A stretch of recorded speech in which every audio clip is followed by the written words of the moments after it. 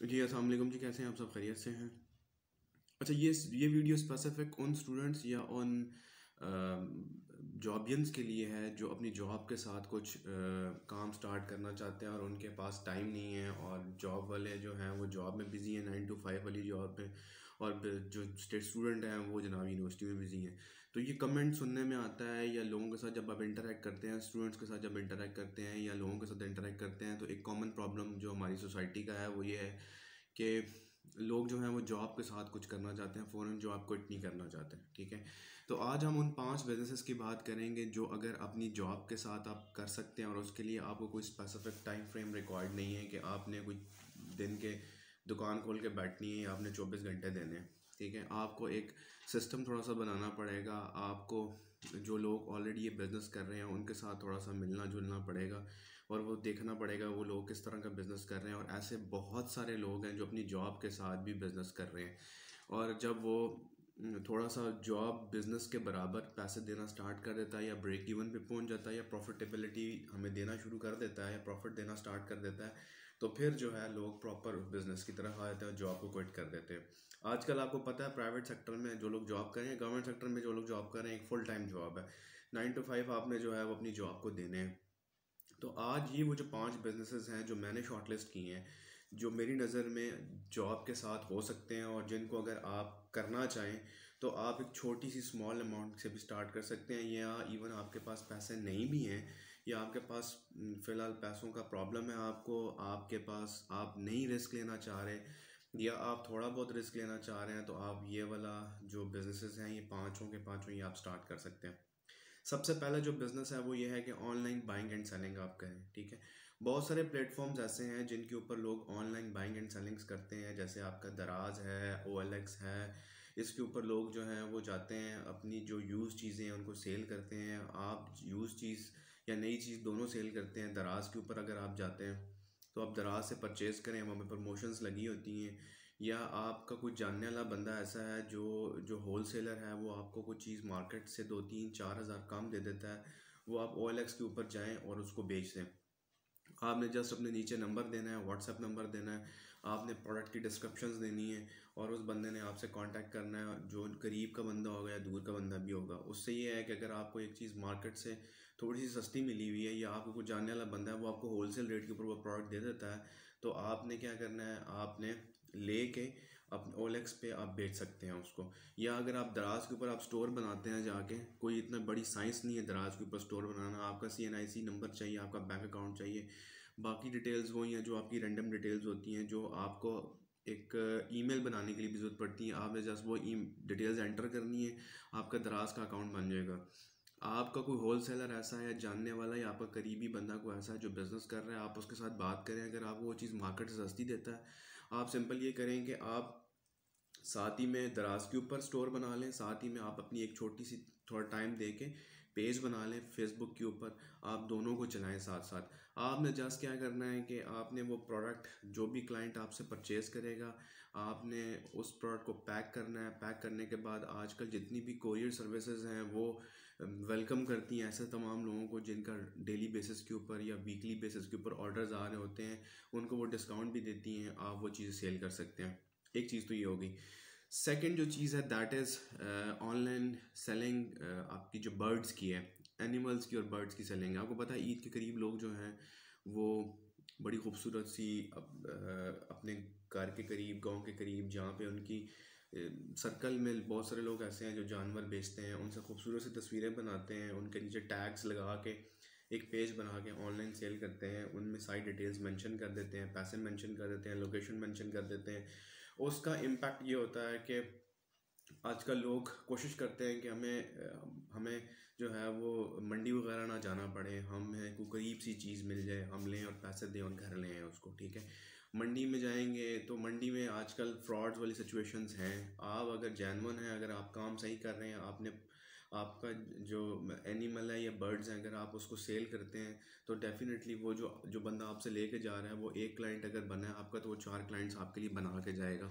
तो डेफिनेटली आप ये करें कि आप एक पेज बनाएँ, ठीक है? आप पेज के ऊपर भी प्रमोट कर सकते हैं उसको और आप ओएलएक्स के ऊपर भी उनको सेल कर सकते हैं। तो ऑनलाइन बर्ड्स का जो कॉन्सेप्ट है, बहुत ज़्यादा है। फेसबुक के ऊपर ऐसे बहुत सारे पेजेस हैं जो ऑनलाइन बर्ड्स और एनिमल्स को सेल करते हैं। कुर्बानी के अलावा अगर हम बड़ी ईद के अलावा की बात करते हैं तो हमारे पास आजकल जो है वो लोग कैट्स बहुत रखते हैं पैट्स में डॉग्स रखते हैं, हर तरह के लोगों को पसंद होते हैं, लोग घरों में रखते हैं। आप क्या कर सकते हैं कि उन, आपके पास अगर कोई है या करीब में कोई बंदा आपका है, आप एक तस्वीर लगाएँ उसके साथ मार्जिन सेट करें और आप जो बंदा आपसे लेके जाता है, नीचे अपना नंबर दें, आप सेल कर दें, ठीक है? तो दो पॉइंट तो ये हो गए। तीसरा जो इम्पोर्टेंट पॉइंट है दैट इज़ योर कि ऑनलाइन क्लॉथिंग का जो ब्रांड्स हैं वो लोग बहुत ज़्यादा चला रहे हैं, ठीक है? आपने देखा होगा कि रेप्लिकाज जो हैं वो फैसलाबाद की जितनी भी ब्रांड फैसलाबाद जितनी भी ब्रांड्स बना रहे हैं, उनमें जो रेप्लिकाज हैं, वो रेप्लिकाज लोग क्या करते हैं कि उन रेप्लिकाज को परचेज़ करते हैं और उन रेप्लिकाज को थोड़े से कम दामों में या कम पैसों में जो है वो बेच देते हैं, ठीक है? आजकल जितनी इन्फ्लेशन हो रही है, लोग चाह ये रहे हैं कि हमें सस्ती सस्ती चीज़ मिले। आप क्या कर सकते हैं, अपने व्हाट्सअप नंबर के ऊपर जो आपके कांटेक्ट में लोग हैं डेफिनेटली आपके कांटेक्ट में जो लोग होंगे वो दो तीन तरह की कम्युनिटीज़ होंगी जो अफोर्ड कर सकती होंगी, जो नहीं अफोर्ड कर सकती होंगी, जो ब्रांड्स ही लेते हैं, ठीक है? और अप्लीकास के ब्रांड्स की जो अप्लीकास हैं, वो बहुत ज़्यादा चलती हैं।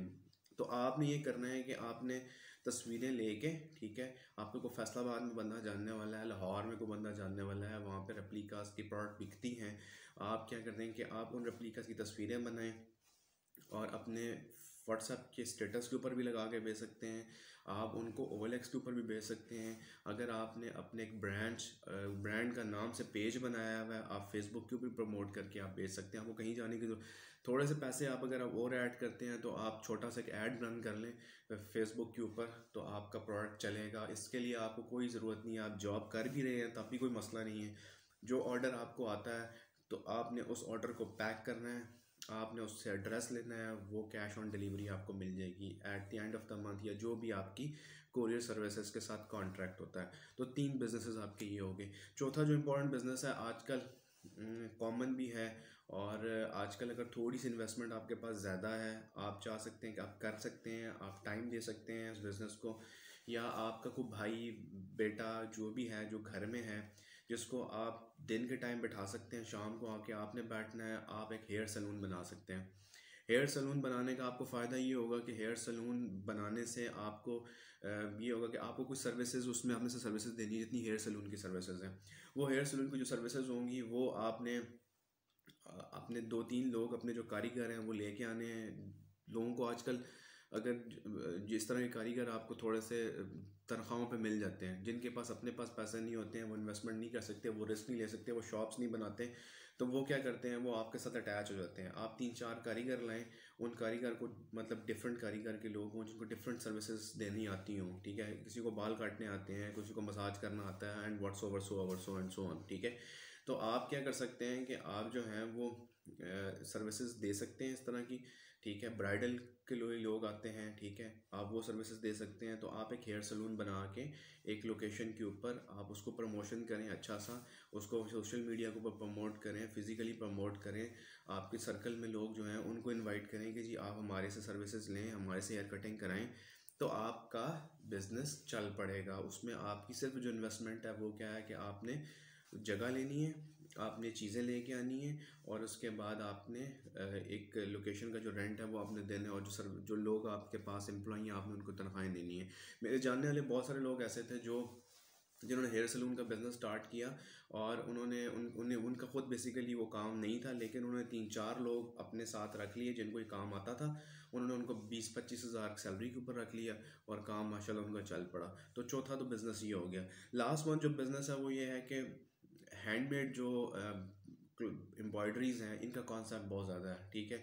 आपके देहात में बहुत सारे लोग ऐसे रहते हैं, जो जिनकी जो ये एम्ब्रॉयडरी बहुत अच्छी करते हैं।